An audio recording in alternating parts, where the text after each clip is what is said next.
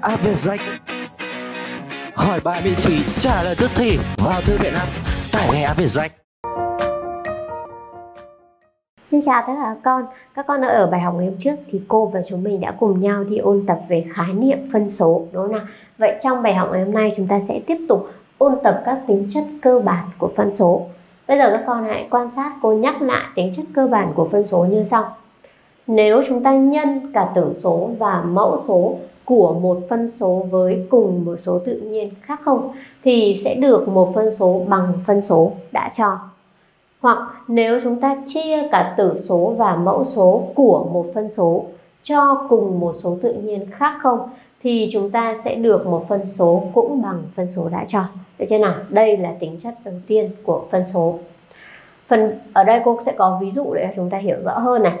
Ví dụ số 1, nếu như cô nhân cả tử số và mẫu số của phân số 5 phần 6 với một số tự nhiên là 3 khác không? Thì cô sẽ được phân số 15 phần 18 bằng với phân số ban đầu. Đúng không nào? Ví dụ số 2 chúng ta chia thì phân số 15 phần 18 chúng ta vừa thu được. Bây giờ cô chia cả tử số và mẫu số cho 3 khác không? Thì cô được phân số 5 phần 6 bằng với phân số đã cho. Được chưa nào? Sang đến phần B, ứng dụng tính chất cơ bản của phân số vào việc rút gọn phân số. Thì ví dụ như ở đây, cô có một phân số 90 phần 120. Đây chưa phải là phân số tối giản. Tức là chúng ta có thể rút gọn được phân số này nữa bằng cách cô sử dụng chia cả tử số và mẫu số của phân số này cho 10 thì cô được phân số 9 phần 12. Tiếp theo 9 và 12 cô lại chia được cho 3. Nếu nào vì hai số này đều chia hết cho 3 thì cô lại tiếp tục chia cả tử số và mẫu số cho 3. Cô được phân số 3 phần 4 và đến đây chúng ta không thể rút gọn thêm được nữa bởi vì đây là phân số tối giản rồi. Được chưa nào? Hoặc chúng ta có thể rút gọn bằng cách chia cả tử số và mẫu số của phân số 90 phần 120 với số 30. Bởi vì hai số này đều chia hết cho 30, đúng không nào? Vậy sau khi cô chia thì cô chỉ chia qua một bước là cô đã ra được phân số tối giản 3 phần tư rồi. Đó, thì sử dụng tính chất cơ bản của phân số cô vừa nhắc ở phần A, chúng ta có thể ứng dụng vào việc rút gọn phân số. Được chưa nào? Rồi, bây giờ sang đến ứng dụng số 2 đấy là quy đồng mẫu số các phân số. Thì cô có ví dụ đầu tiên, đề bài yêu cầu chúng ta quy đồng mẫu số của hai phân số 2 phần 5 và 4 phần 7 đúng không nào? Thì bây giờ cô muốn tìm mẫu số chung, cô sẽ lấy tích của hai cái mẫu số này. 5 x 7 bằng 35 là mẫu số chung. Thì bây giờ chúng ta quy đồng như sau. Phân số 2 phần 5 cô nhân cả tử số và mẫu số với 7 chính là nhân với mẫu số của phân số còn lại đúng không nào? Cô được 14 phần 35. Ngược lại phân số 4 phần 7 cô nhân cả tử số và mẫu số với 5 chính là mẫu số của phân số thứ nhất.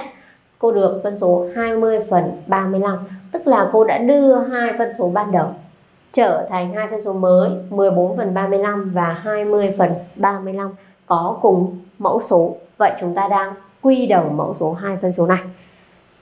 Bài tập số 2, quy đầu mẫu số của phân số 3 phần 5 và 9 phần 10. Thì ở đây có một cái đặc điểm là gì? Mẫu số này là 5, mẫu số bên này là 10. 10 chia cho 5 được 2, tức là chia hết cho 5. Đúng không nào? Vậy cô sẽ chọn 10 làm mẫu số chung thì chúng ta chỉ việc quy đồng mẫu số của một phân số này thôi, đúng không nào? 3 phần 5 cô nhân cả tử số và mẫu số với 2, cô được phân số 6 phần 10. Tức là cô đã đưa phân số này thành phân số có mẫu số là 10, còn phân số 9 phần 10 ở đề bài cô giữ nguyên. Được chưa nào? Thì đây chính là cách quy đồng mẫu số các phân số dựa vào tính chất cơ bản của phân số. Các con hiểu chưa nào? Bây giờ thì chúng ta sẽ cùng cô thực hiện bài tập đầu tiên. Đề bài yêu cầu rút gọn các phân số sau. Cô có 3 phân số. Phân số thứ nhất là 15 phần 25.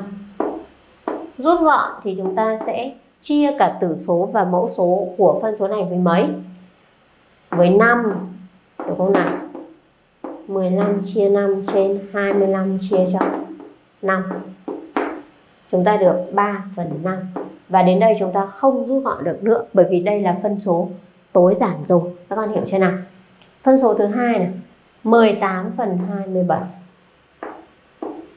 đối với phân số này 18 và 27 cùng chia hết cho 9 cho nên cô chia cả tử số và mẫu số của phân số này với 9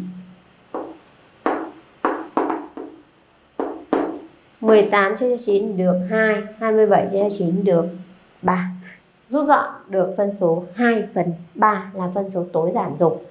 Phân số tiếp theo là 36 phần 64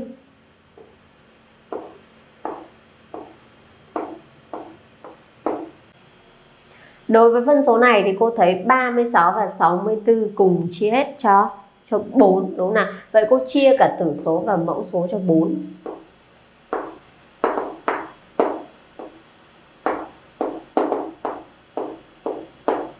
Ba mươi sáu chia cho 4 được. 9 64 chia cho 4 thì được. 16 9 phần 16 không thể rút gọn được nữa. Đúng nào? Vậy đây là phân số tối giản rồi. Vậy là vừa rồi thì cô và chúng mình đã sử dụng tính chất cơ bản của phân số để chúng ta thực hiện rút gọn các phân số, đưa các phân số này trở thành các phân số tối giản. Bây giờ thì cô và chúng ta sẽ cùng nhau bước sang bài tập số 2 nào. Sau đây là bài tập số 2. Bài tập này là bài toán quy đồng mẫu các phân số sau. Vậy thì để quy đồng mẫu số các phân số chúng ta phải sử dụng tính chất cơ bản của phân số đúng không nào?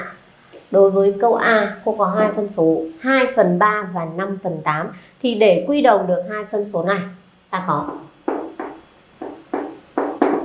phân số 2 phần 3 cô sẽ nhân cả tử số và mẫu số với mẫu số của phân số còn lại là 8 đúng không nào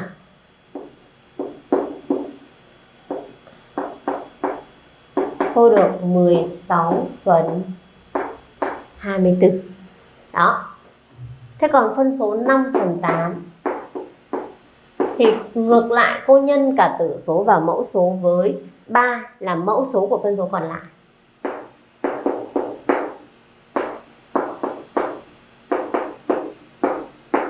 mười lăm phần hai mươi bốn Đây là câu A.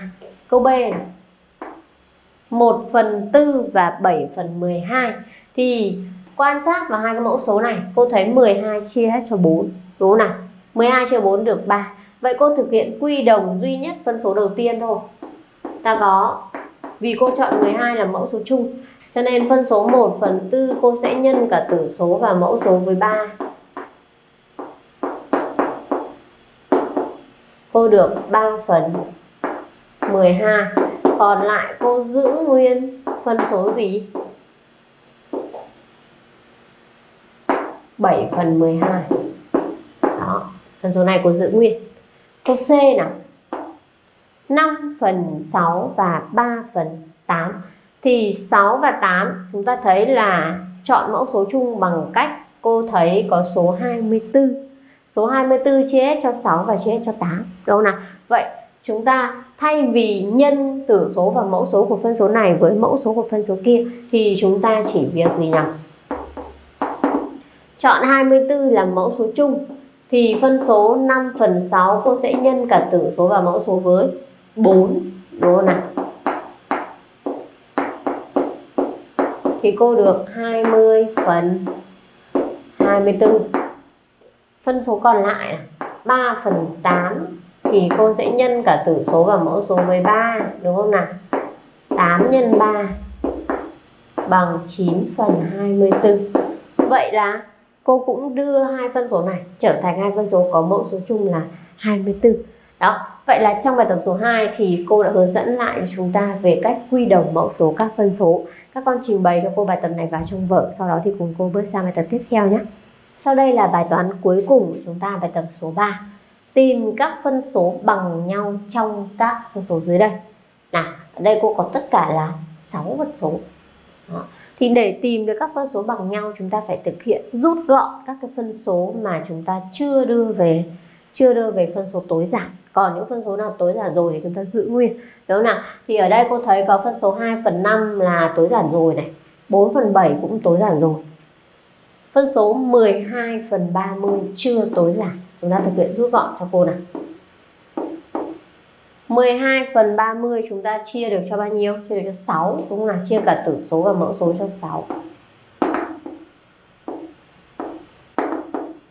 Thì chúng ta được phân số 2 phần 5 Tiếp theo phân số 12 phần 21 Phân số này, thấy cả tử số và mẫu số có thể chia hết được cho cho 3 đúng không nào? thì cô sẽ chia cả tử số và mẫu số cho 3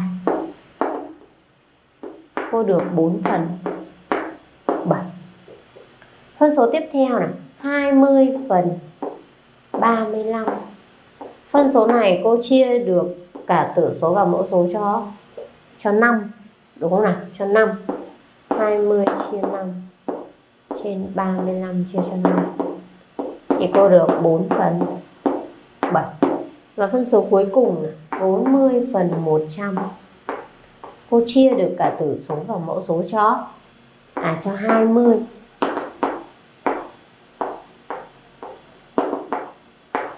thì cô được 2 phần 2 phần 5 Vậy là sau khi cô thực hiện rút gọn, thì các con thấy là có các phân số nào bằng nhau nào? 2 phần 5 bằng với phân số 12 phần 30 bằng với phân số 40 phần 100 đúng không nào? Vậy 2 phần 5 sẽ bằng 12 phần 30 bằng 40 phần 100 còn lại phân số 4 phần 7 sẽ bằng 12 phần 21 và bằng 20 phần 35 đó, vậy là chúng ta đã hoàn thành xong được bài tập số 3 Thì nhớ cho cô là nếu như người ta cho chúng ta rất nhiều các phân số Và yêu cầu tìm các phân số bằng nhau Thì các con phải thực hiện rút gọn các phân số mà chưa tối giản Rồi sau đó chúng ta mới tìm Được chưa nào? Vậy là trong bài học ngày hôm nay thì cô và chúng mình đã cùng nhau đi ôn tập về các tính chất cơ bản của phân số. Thì cô nghĩ là các con có thể vận dụng các cái tính chất này để thực hiện rút gọn hay quy đồng mẫu số thành thạo. Được chưa nào? Hẹn gặp lại các con ở bài học hôm sau. Xin chào. Khóa học về rách. Sự lựa chọn của hàng triệu phụ huynh và học sinh. Trải nghiệm ngay khóa học của Vietjet